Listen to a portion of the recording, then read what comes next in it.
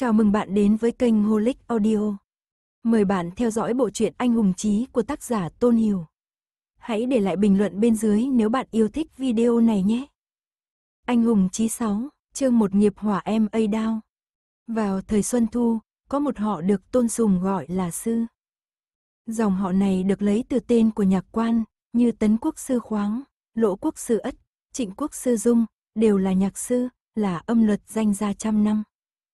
Lưu phong lan rộng, tất cả những phong lưu văn sĩ đều sửa họ thành sư, họ sư giống như nhạc thần, địa vị sùng vinh.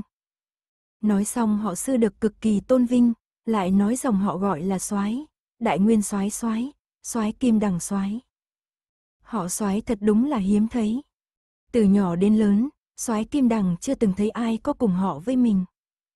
Lý Hoàng gia, Vương lão bản, Trương lái buôn, Lưu nhị ca, còn có Trần đại soái, năm người này nhà nhiều, nửa khắp thiên hạ. So sánh ra, không biết có bao nhiêu người hâm mộ soái kim đằng, đều mong chính mình có thể có họ uy phong bát diện như vậy, đại nguyên soái. Tuy nói dòng họ uy phong, kỳ thật soái kim đằng trong lòng minh bạch, hắn thực chán ghét đại nguyên soái. Tâm căm ghét, sự ám chỉ này bắt đầu từ điển cố lòng tư mã chiêu, người qua đường đều biết. Thật lâu thật lâu trước kia, có người xấu gọi là tư mã chiêu, sinh ra một nhi tử hư gọi là tư mã viêm. Sau làm long ỉ, gọi là tấn võ đế. Tấn võ đế này thực hiếu thuận, tuy rằng xoán vì. Lại còn biết là công lao của cha, liền vội vàng truy tặng niên hiệu. Sau lại ngẫm lại, chỉ dựa vào âm mưu của cha cũng không thể được việc, bá phụ liều hơn nửa mạng đời người, không thể xóa bỏ công tích xoán vị của hắn, vì vậy cũng tôn ông làm hoàng đế, gọi tấn cảnh đế. Sự tình nháo ra, ngày này đến quỷ thượng thư suối quỷ. Trùng hợp thượng tấu trương, hoàng đế vừa thấy thự danh, thình lình thấy được hai chữ sư bính, lòng nhan tức giận, triệu sư lão nhân này đến sân rồng, lạnh lùng nói, sư ái khanh. Chấm muốn mượn đầu ngươi dùng một chút. Quân muốn thần chết, thần không thể không chết, sư bính nước mắt rơi như mưa, người này rất có phong thái tổ tông, lập tức liền như trúc lâm thất hiền hư vài tiếng, coi như đang than thở cho chính mình. Hoàng đế nhăn long mi lại, nói, đừng vội khóc, đầu ngươi sắp bị người ta hái rồi, chẳng lẽ không muốn biết chính mình vì sao gây họa sao? Sư Bính rơi lệ nói, thần luôn luôn ngu dốt, khấu thỉnh thánh thiên tử chỉ giáo. Sư ái khanh, hoàng đế sâu kín thở dài, tên họ ngươi không tốt. Này, thần tên họ không tốt, sư bính vội vàng cân nhắc, thoáng chốc vỗ tay. Run giọng nói, chính là chữ bính sao? Thần hành sự bất lực, ngày ngày lên mặt bính. Đi, ai quản ngươi giáp ất bính. Chấm phiền não chính là chữ sự của ngươi. Sư bính kinh nghi bất định, hoảng nói, thánh thượng là ngại thần tự cho mình là đúng. Vô cớ xuất binh, sư này kế sách cũ, không cầu tiến bộ, cho nên muốn chém đầu thần. Ngươi đi quá xa rồi. Hoàng đế cười lớn, hắn đứng dậy, vỗ chán sư bính, biết bá phụ trẫm tên là gì không? Sư bính bừng tỉnh đại ngộ, mới biết duyên cớ, lẩm bẩm liền nói, bá phụ thánh thượng là là Tư Mã, Tư Mã, chữ sư còn chưa nói ra, từ mũi rồng phát ra hai tiếng rồng gầm nặng nề, khiến sư bính bị hồn phi phách tán. Không còn cách nào khác, đế danh miếu hiệu cần làng tránh, Tư Mã sư lên làm tấn cảnh đế, chữ sư liền trở thành chuyên dụng của một nhà, Lý Thế Dân làm thiên tử, quan thế âm còn phải sửa tên thành quan âm. Ngay cả thần tiên cũng phải lảng tránh, huống chi là tiểu lão sư phàm phu tục tử. Đáng thương sư bính nước mắt lưng tròng. Tuy rằng để đầu xuống dưới, ý chưa sư đảo xuống dưới, họ lại vẫn muốn chém đầu. Vì chuyện này, ngày sau sử gia đã để lại ghi chép như thế này, tấn có thượng thư sư bính, tránh tấn húy, sửa thành soái thị. Còn mẹ nó đại nhân vật, vĩnh viễn luôn là đức tính này. Mấy trăm năm sau, một soái kim đằng lầm bẩm, tự nói, sao không gọi tư mã quy, sẽ không phiền người khác. Soái kim đằng cởi quần, như tổ tiên thở ngắn than dài, nước tiểu nóng hầm hập đổ xuống, tạo thành một cái hố sâu một thước hai tấc dưới tảng cây tuyết đọng. Hắn dùng mình mấy cái, hớp chút hơi ấm trên tay rồi kéo đũng quần lên, thắt chặt lưng quần. Sau khi giải tỏa, thoải mái rất nhiều, soái kim đằng đeo mặt nạ, bước ra khỏi rừng sâu hắc ám. Những bông tuyết bay bay, bóng cây theo gió lay động, vào đông đêm lạnh, cổ mộc thông thiên che khuất những vì sao, khiến khung cảnh xung quanh càng thêm tối tăm. Sao xã Grilzit không biết nơi nào trong rừng sâu, dường như tụ tập rất nhiều ma điểu, Vương Duy thơ rằng, không có người trên núi vắng, nhưng văn nhân ngữ vang, phiến rừng cây này luôn âm trầm, khiến người ta lạnh sống lưng. Bất quá liền tính có quỷ, người sợ cũng phải là người khác chứ không phải soái kim đằng. Toàn thân hắc y, đeo mặt nạ đen, ngoại trừ sắc bén ánh mắt, đều không nhìn thấy gì. Nói đến hắn mới là ác quỷ trong mắt người khác. Ác quỷ lang thang vào ban đêm, soái kim đằng vẫn thường đến rừng sâu này tuần tra, nửa đêm ở trong rừng rậm gặp gỡ hắn, thật là một tai họa lớn. Gặp gỡ hương dân nam nữ tới chỗ này thân thiết, hắn liền quấy phá, tiểu nam tiểu nữ sợ tới mức chạy chối chết. Rừng rậm quỷ hồn yêu thích trẻ con, tin tức lan truyền, hương dân sinh động như thật. Khiến người không thể không tin.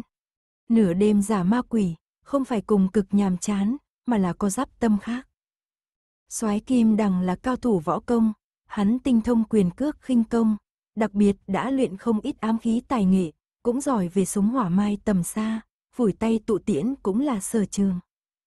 Hắn nhìn lục huyết thiết tranh trong tay, loại này binh khí ra truyền hơi nhỏ một chút so với vật thật, hai mặt sắc nhọn, có thể dùng ở cự ly vật lộn, dây được làm bằng tơ máu trộn với dây đồng, có thể sử dụng bất cứ lúc nào.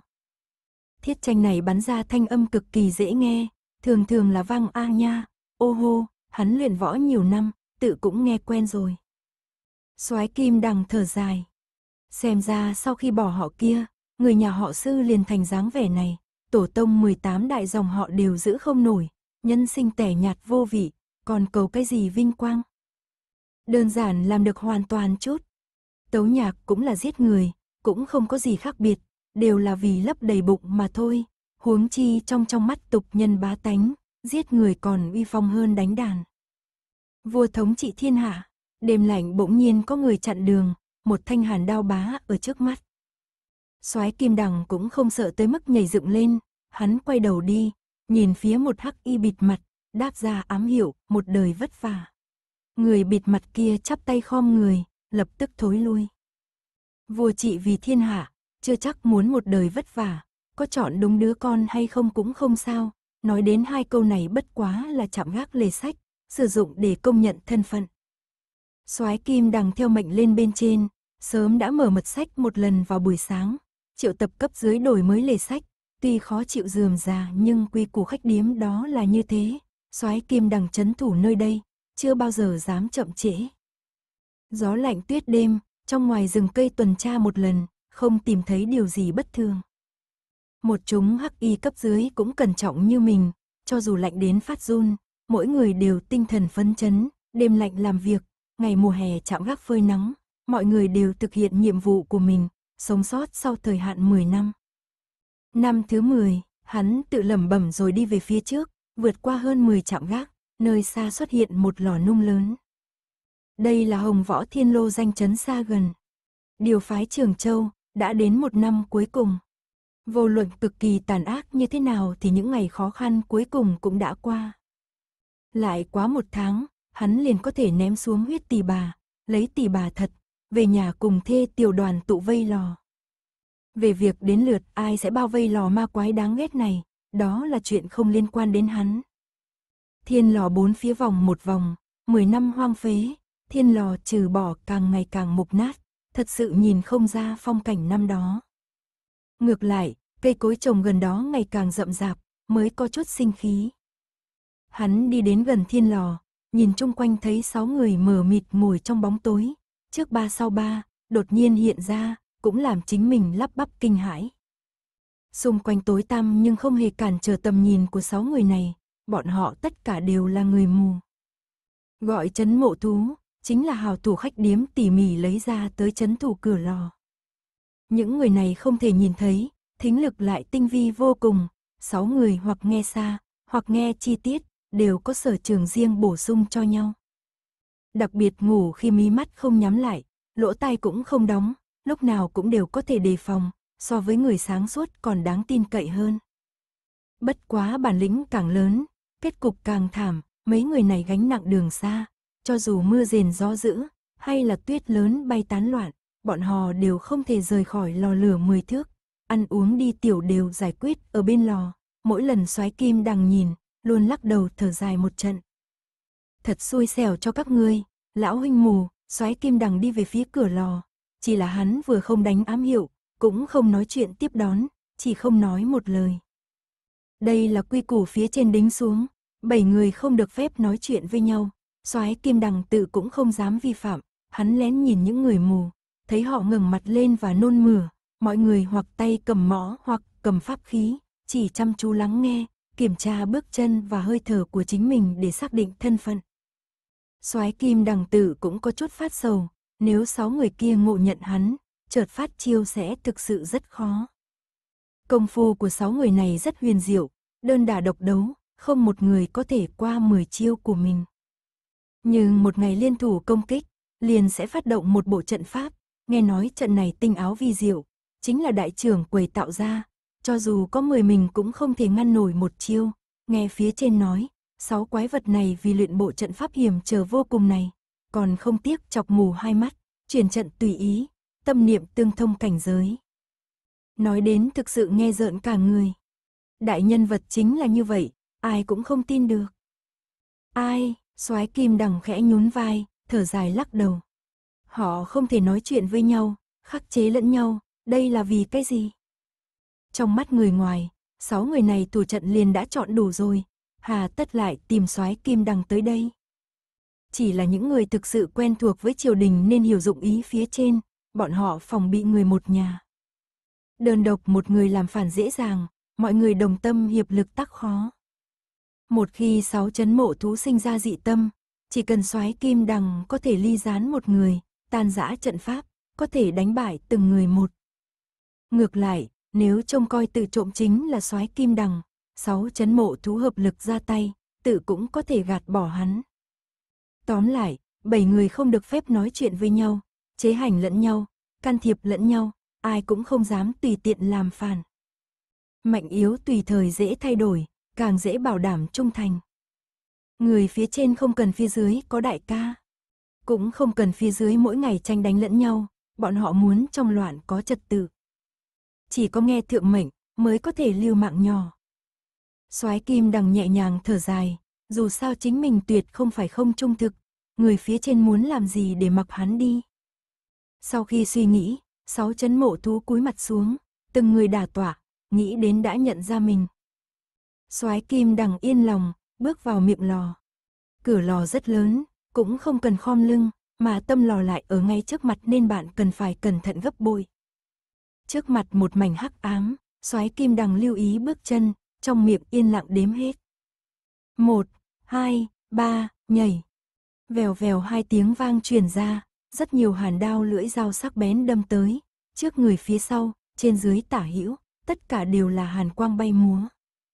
Soái kim đằng nhắm mắt lại, tiến về phía trước như vũ đảo, lại trong phút nguy hiểm né tránh cơ quan.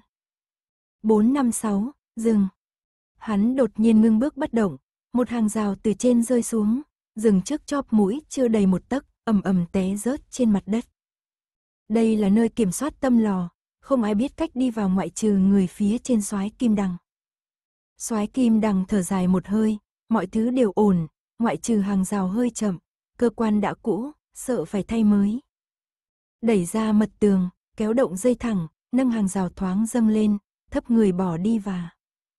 Đây chính là tâm lò, xoáy kim đằng đánh hỏa chiết, nhìn kỹ số mệnh 10 năm gian khổ vừa qua của mình. Đó là một mảnh vải đen lớn che phủ một thứ gì đó trông giống như một chiếc quan tài. Nếu nói dáng màu mũ phượng là khăn voan tân nương, thì mảnh vải đen này không thể nghi ngờ là pháp quan ác ma, che giấu khuôn mặt quỷ đáng sợ khiến người sợ hãi. Dưới ánh lửa u ám, bóng tối trước mặt khiến người ta vô thức sợ hãi. Soái Kim Đằng tuy chưa từng cởi tấm vải đen ra, nhưng hắn trong lòng minh bạch, thứ dưới tấm vải đen chính là ma vương quyền trượng, cũng là pháp khí đủ để chống lại triều đình. Bốn chữ, nghiệp hỏa ma đao, kể từ khi khai quật được ma vật tới nay, đã bị khách điếm theo dõi, theo khách điếm ngày càng lớn mạnh, hơn 10 năm qua, thứ này được bảo hộ như tường đồng vách sắt. Thế gian không ai biết thứ này tồn tại. Bọn họ không chỉ muốn bảo vệ cho ma vật, còn muốn canh phòng nghiêm ngặt tin tức bị tiết lộ. Đầu tiên là trồng trọt rừng cây, lại đến giải quỷ dọa người. Tất cả những người liên quan đều không được phép liên hệ với người nhà, giống như làm việc cực nhọc mở lăng tẩm đế vương. Hết thảy đều là chuyện nhỏ nhặt. Tuyệt không để lộ bí mật. Đáng thương soái kim đằng vì trông coi thứ này, từ tráng niên thành lão niên, nhân sinh cả đời vì phía trên phân phó. Chỉ bằng cách giữ được cơ mật, Phương Bảo triều quyền mới không ngã. Đại nhân vật Bắc Kinh giận dò mình như vậy. Mọi người vất vả rồi. Mười năm không được về nhà, không biết hài tử lớn lên như thế nào, không biết thê tử thủ trinh tiết hay không. Nhiều năm làm bạn với chính mình chỉ có gió lạnh trăng lạnh, gian khổ mua vui ba chữ, vất vả rồi. Hận, ta muốn giết, giết chết, giết sạch. Soái kim đằng lệ nóng doanh chồng, nắm chặt tay, yên vào lúc này, ma vật dưới miếng vải đen tựa gầm nhẹ gì đó, như đang hưởng ứng sự bi phẫn của chính mình. Soái kim đằng thở dốc, muốn dùng hết sức lực lao về phía trước, rút ra ma đao, từ đây trở thành nhất đại thiên kiêu. Lưng đập vào tường, soái kim đằng che mặt thở dốc, mỗi lần đều sẽ như vậy, chỉ cần tới gần ma đao, mặc dù chính mình nhát như chuột cũng sẽ đột nhiên sinh ra nhiệt huyết. Suốt 10 năm, soái kim đằng không chỉ một lần muốn xốc miếng vải đen lên, nhìn bộ dáng chân thật của ma đao, hắn suy nghĩ cẩn thận, mà đao này và thần kiếm được sinh ra từ cùng một mẹ, đến tột cùng có pháp lực thần thông gì. Hắn càng muốn hiểu rõ dụng tâm phía trên, tại sao bọn họ kiêng kỵ chuôi đao này, lại chỉ phái trọng binh trông coi, lại không hạ thủ phá hủy. Sao cũng được ta cũng chỉ là nhân vật nhỏ, soái kim đằng có đầu óc, không có can đảm, đúng là kho báu đau đớn nhất của phía trên. Hắn thở dài, dấu vết trên cánh tay có thể thành tựu hắn, cũng có thể phá hủy hắn. Chữ sư trên đầu đã thiếu một nét, nếu hắn suy nghĩ quá nhiều, nghĩ đến quá nhiều, khó tránh khỏi lại có một đao chữ xoáy nữa trên chán. Chữ sư si bỏ đi một nét trên đầu sẽ thành chữ xoáy suai theo hắn tự. Lau nước mắt mồ hôi, kiểm tra bên trong lò rồi bước ra ngoài. Đêm nay đã tuần sáu hồi, có thể thoáng nghỉ tạm. Dọc theo đường cũ đi rồi trở về, bỗng nhiên, thấy dấu chân mình trên nền tuyết có chút kỳ quái. Dường như so bình thường sâu hơn 6 phân. Soái kim đằng chớp chớp mắt, ngồi xổm xuống nhìn mặt đất, vội vàng lấy ra một cây thước sắt để đo. Soái kim đằng là một người keo kiệt không chút nào lanh lẻ, xưa nay oán trời trách đất, mỗi lần oán trách sẽ trở nên hẹp hòi, xử sự tất so đo, bất quá cũng là vì hắn tính toán chi ly, nhất định phải cẩn thận, người phía trên mới có thể phái hắn đến đây. Cũng chỉ có nhân tài như vậy, mới quay đầu lại, chú ý đến dấu chân của chính mình. Soái kim đằng nằm sấp xuống đất xem kỹ, cẩn thận nhìn, đột nhiên thở dài, thấy rằng mỗi dấu chân của mình đều có một ấn ký nhỏ hơn, dấu vết đó nhẹ nhàng thẳng tắp, hắn dụi mắt vội vàng nhìn về phía rừng cây, hắn kinh ngạc nhìn thấy trong rừng lại có một vệt dấu chân mờ nhạt, một đường từ trong rừng xuyên ra, hợp với dấu chân của mình, lúc sau liền biến mất không dấu vết, đi về phía cửa lò. Những bông tuyết đang rơi, chính mình nếu muộn một lát, dấu vết đó sẽ bị che mất. Đại sự không ổn, hết thảy manh mối xem ra, điều này có nghĩa là có người đang theo dõi mình. Ông trời, chính mình võ công cao cường, sáu chấn mộ thu thính lực hơn người, có thể nhắm mắt theo đuôi sau lưng người, đó là loại khinh công gì? Hắn nuốt nước miếng, vội vàng xoay người sang chỗ khác, đang muốn gọi cấp dưới nhưng đột nhiên lại dừng lại.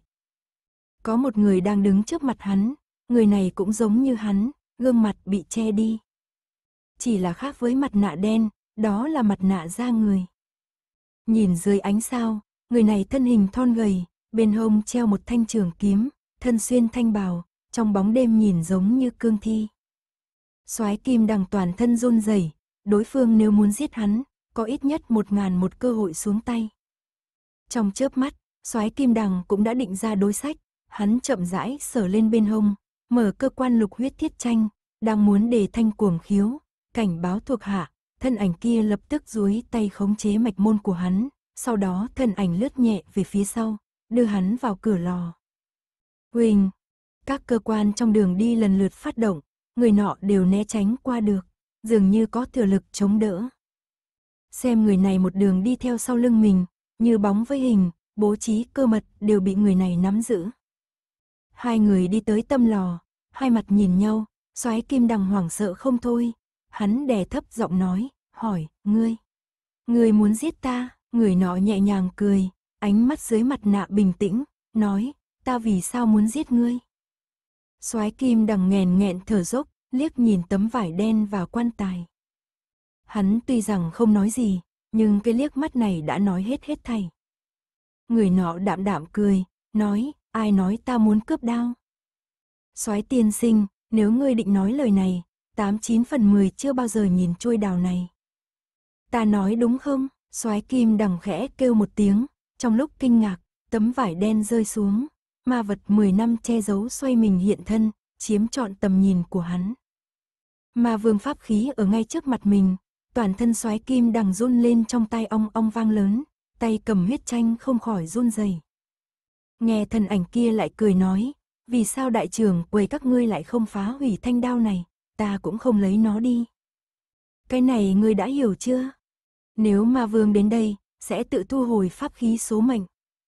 Soái kim đằng chậm rãi gật đầu, ánh mắt cực thấy bi oán.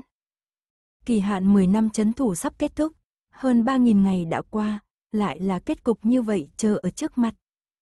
Khoảnh khắc khai quật ma đao, chính mình cùng 200 thuộc hạ một người cũng không thể sống sót, toàn bộ đều sẽ trở thành tế phẩm. Người đừng sợ, tổng soái nhà ta không ở đây, mặt nạ ra người hạ thanh âm bình bình đạm đạm, ta tối nay sẽ không giết ngươi, cũng sẽ không xông vào cửa lục đạo trận kia, ta chỉ là đến xem các ngươi bố trí, xem qua liền đi. Vì, vì sao, tha cho ta, soái kim đằng có chút ngạc nhiên. Suy nghĩ vì mọi người, thân ảnh kia nhàn nhạt nói, giết ngươi, các ngươi phòng bị tất nhiên siết chặt, ngoại trừ tha một mạng, ta còn có ích lợi gì? Khó khăn kỳ hạn 10 năm sắp kết thúc, chúng ta hãy thương lượng đi, ta sẽ không động vào ngươi, để ngươi bình an báo cáo kết quả công việc, ngươi cũng giả vờ ta chưa bao giờ đến đây, được chứ? Soái kim đằng khớp hàm phát run, hắn biết đối phương đang dụ dỗ mình, Hoàng thanh nói, ngươi, ngươi muốn lừa ta. Thân ảnh kia mỉm cười nói, hà tất dùng này hai chữ này. Người khách điếm các ngươi tất cả đều là hạng người tàn nhẫn độc ác. Ngươi báo tin tức lên trên, trừ bỏ chứng minh chính mình là một phế nhân, còn mang đến tai họa cho cả nhà, còn có chỗ tốt gì? Không bằng ngươi bây giờ an an tĩnh tĩnh câm miệng, đỡ gây phiền toái cho chính mình. Người này hảo âm hiểm, soái kim đằng trong đầu không suy đoán được, thoáng chốc trong lòng vừa tỉnh, đã là biết lai lịch người này, trước mắt địch nhân lấy tam dạng khinh công, khoái kiếm, chi kế tuyệt sống nổi tiếng hậu thế, hắn nếu bảo khởi động thủ, chính mình trong vòng nhất chiêu liền sẽ chết. Người tới không có ý tốt, đối phương đêm khuya tới đây, quả là có chuẩn bị mà đến. Nếu mình che giấu tin tức, phía trên không biết phòng bị, ngày mai cường địch liền sẽ xuất quân tới đây, toàn lực cướp đoạt thanh đao này. Nhưng, nhưng nếu mình báo lên trên, lần này trông coi bất lực, phía trên nhất định sẽ trừng phạt nặng mình, chữ sư mất một nét thành chữ soái, chữ soái mất một nét rồi sẽ thành chữ gì? Soái kim đằng khóe miệng phát khổ, trong lòng xuất hiện một chữ lưu. Tiếng nói kia lại cười nói, soái huynh, hành sự soái khí chút. Sang năm ngươi phải báo cáo công việc, đến lúc đó ma đao bị đoạt, lại không liên quan đến ngươi, ngươi còn sợ cái gì? Soái kim đằng do dự, hắn buông binh khí xuống, thấp giọng nói, bằng hiểu. Ta rất muốn đáp ứng ngươi, nhưng, nhưng ta, ta là, thoáng chốc đôi tay ấn lên cầm huyền, lạnh lùng nói, Trấn quốc thiết về. Tiếng hét như sấm sét vang vọng trong không trung, thiết tranh cầm huyền toàn bộ bay ra, soái kim đằng thấy rõ hẳn phải chết, vẫn hết sức ra một kích. Thanh y nhân nhàn nhạt thở dài, duỗi tay ấn vào chuôi kiếm. Soái kim đằng không có lựa chọn, trước có lang, sau có hổ, cả hai đều khiến hắn sợ hãi, nhưng hắn tin chắc vào một điều, đối phương cho dù đáng sợ cũng không đáng sợ hơn đại trưởng quầy, thế gian không có ai đáng sợ hơn đại trưởng quầy. Xoát một tiếng, trước mặt tinh quang lóng lánh, trường kiếm ra khỏi vỏ, bóng người chớp động, giống như quỷ mị bay tới, đây là nhân kiếm hợp nhất đáng sợ nhất thiên hạ, trong kiếm tàng chiêu, trong chiêu hàm kiếm, huyết tỷ bà chỉ là trò trẻ con trước mặt người này. Không sao cả, đầu điếm là lúc, liền biết cuộc đời này không thể lui phòng, đây là quy luật của khách điếm. Giờ phút này chính mình chết thảm, còn có thể tránh mỹ danh tráng liệt thành nhân, nhưng nếu đầu hàng địch nhân, sự việc đã bại lộ, mãn môn đều phải chết. Trên mặt đất vang lên một âm thanh chói tai, bên tai truyền đến tiếng trời, soái kim đằng kinh hỉ đan sen, ngưng mắt xem, chỉ thấy chiếc nhẫn hoàng kim lóng lánh rực rỡ, một thanh kiếm tới trước mặt, trong hàn khí dày đặc, có người thay hắn chặn sát chiêu. Tứ chướng phòng tới, tuy rằng người nọ che lại diện mạo, nhưng nhìn ánh mắt lạnh lẽo kia, vẫn là vừa nhìn biết ngay thân phận. Kim Lăng Sương, thanh y thân ảnh lại cười nói, mấy năm không gặp, võ công của ngươi tiến nhanh. Ngón tay Hoàng Kim lạnh lùng đáp lời, lui về, nói cho tổng soái nhà ngươi, hắn không có mảy may phần thắng. Hàn khí tràn ngập, rất nhiều sát chiêu hiện lên, âm thanh binh khí giao kích không dứt bên tai, hàn khí nội tình mọi nơi tràn ngập, soái kim đằng chỉ có thể nỗ lực né tránh về phía sau, bảo vệ nguyên khí của mình, để tránh bị tuyệt chiêu của hai đại cao thủ lan đến. Bang một tiếng, thanh y thân ảnh dựa thế nhảy về phía sau, đã chạy trốn về phía xa, Hồng Vũ Thiên Lò xảy ra chuyện, tin tức ma đao nếu truyền ra, chính mình 10 cái đầu cũng không đủ giết, soái kim đằng cầm huyết tỷ bà, là người đầu tiên chạy như bay đuổi theo, trong miệng giận hô, người đâu? Đuổi theo tặc tử A. Đi tới ngoài bìa rừng, đang muốn nhảy vào, bỗng nhiên cánh tay bị siết chặt, lại bị người ta kéo lại. Soái kim đằng quay lại, trước mắt lại là cấp trên, xem hắn ánh mắt ngưng trọng, tuy không nói một lời nhưng ý bảo chính mình chớ có đi qua. Soái kim đằng mặt lộ vẻ khó hiểu, lẩm bẩm, tứ đương ra. Điểm từ lẻ loi một mình, chúng ta chưa chắc đã thua, ngài. Ngài vì sao không cho ta đuổi theo? Ngón tay hoàng kim chỉ bầu trời đêm, lẳng lặng nói, không cần. Không cần, soái kim đằng lòng tràn đầy mờ mịt, còn đang nghi hoặc, trong rừng cây truyền đến từng trận tiếng vang, như thể có một con dã thú nào đó đang chờ đợi xuyên qua tường đi ra, tiếng vang lách cách từng trận không dừng, thế gian tịa không có giá thú nào có thể phát ra âm thanh kỳ quái như vậy, đó chính là ma vương nóng lòng muốn hiện thân sao? Soái kim đằng lòng tràn đầy kinh hãi, dẫn thuộc hạ của mình lui về phía sau. Chỉ có một mình tứ chướng phòng ở phía trước, khoanh tay nhìn chăm chú trong rừng. Những chiếc lá khô bay trong không trung, một bóng trắng khổng lồ che phủ bầu trời đêm. Bóng trắng khổng lồ phân tán, hóa thành vô số bóng dáng thật nhỏ, lần lượt vỗ cánh bay lên trời. Thoáng chốc tứ tán bay đi. Không phải yêu ma, đó là bồ câu. Trong rừng cây cất giấu một lồng bồ câu thật lớn, hàng trăm bóng chim bồ câu bay lượn trên bầu trời, trong đó một con là kẻ đưa tin mang đến tin tức dung truyền cho thiên hạ. Soái kim đằng khớp hàm phát run, hành sự bất lực, tất chịu trọng phạt, hắn tự biết mạng nhỏ mỏng manh, hai chân lại không tự chủ được mà run lên. Cho dù chống chọi với toàn thân nội lực, vẫn không thể ngừng run rẩy.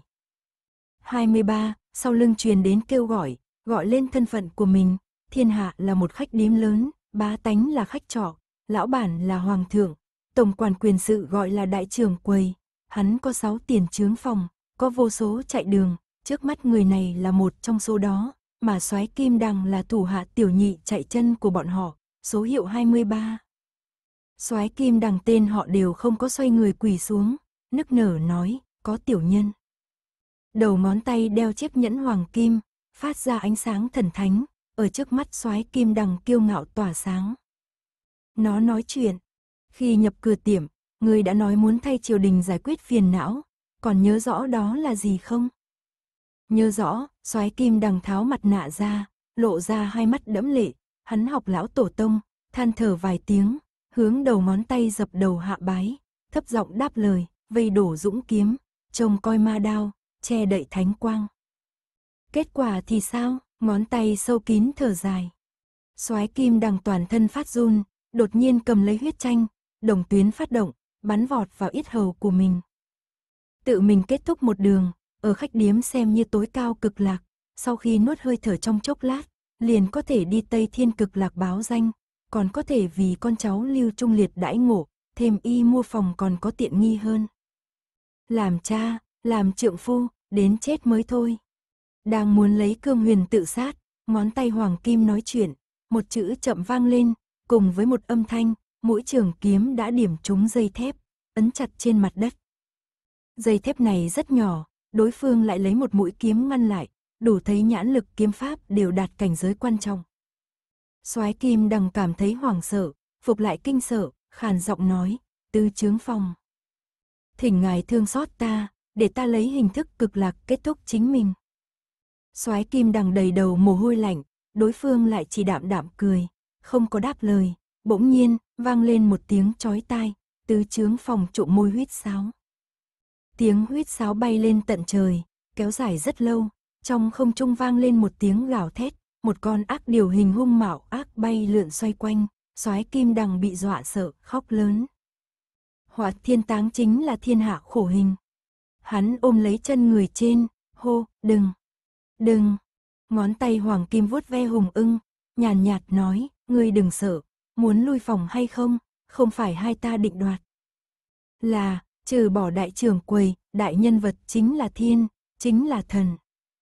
Dù trời gió hay mưa, trời lạnh hay ấm, muốn cái gì thì chính là cái đó, nói ngươi là ai thì ngươi là kẻ đó. Soái kim đằng nức nở nói, không ai có thể cho ta. Lui phòng, ngón tay hoàng kim không để ý đến hắn, chỉ rút ống trúc từ chân phi ưng, ngón tay hoàng kim lấy tờ giấy ra, cúi đầu đọc, nhóm lửa thiêu. Soái kim đằng không biết trong chốc lát có thảm họa gì, phảng phất chờ ít bảng cống sinh, đầu óc miên man suy nghĩ, tim nhảy thình thịch. Mạng này đáng giá vạn lượng bạc trắng hay là cái đồng tiền, một lát liền biết rõ. Bên tai vang lên một thanh âm tê dại ra đầu, báo người tin tức, 23, soái kim đằng khớp hàm run rẩy, rên rỉ, trong tai nghe nói, chúng ta muốn giải quyết rắc rối đầu tiên. Soái kim đằng thở ra hơi dài sợ hãi, ngài, ngài nói là tam đạt kiếm. Không sai, ngón tay hoàng kim ngữ khí bình đảm, thiên hạ đệ nhất truyền nhân tu luyện đến tình trạng gì, có dũng chảm thiên cương hay không, chúng ta thực mau liền có thể biết. Ha, thật sự quá tốt, mẹ kiếp, không quan tâm ngươi là ai, lão tử đâu ra nhàn rỗi quan tâm đến việc ngươi là ai. Soái kim đằng giả ý cười làm lành, trong lòng mắng, vội vàng hỏi vận mệnh của mình, tứ đương ra. Tiểu nhân, tiểu nhân, ngươi vẫn còn tác dụng. Chỗ hữu dụng, người hữu dụng không phải phế liệu, phế liệu sẽ không bị đuổi ra khỏi nhà, giá trị con người xoáy kim đằng trên diện rộng tăng vọt, từ hai tiền đồng thăng thành vạn lượng bạc trắng, hắn nín khóc mỉm cười, chấn hưng tinh thần, lớn tiếng nói, thuộc hạ vì nước vì dân, quyết không chối từ. Người muốn lập công chuộc tội, đầu ngón tay chỉ vào mặt xoáy kim đằng, quật ma đao ra, đưa về Bắc Kinh. Nếu thất thủ, mang đầu tới gặp. Soái kim đằng reo cao giọng hoan hô, quơ chân múa tay, đang vui mừng chợt thấy ngón tay hoàng kim đưa vào trong miệng, trong giây lát, máu tươi chảy ra. Soái kim đằng lại sợ lên, run giọng nói, tứ đương ra. Ngài, ngài muốn, đừng sợ, không phải muốn huyết hình ngươi. Ngón tay hoàng kim chấm máu tươi, vẽ vài nét ám hiệu lên khăn tay, nói, đại trưởng quầy phân phó, nói có đại nhân vật sắp phản quốc, ta muốn truyền lệnh phân đà các nơi, phòng bị chu đáo. Soái Kim Đằng cả kinh nói, ngài, ngài ém chỉ là ai?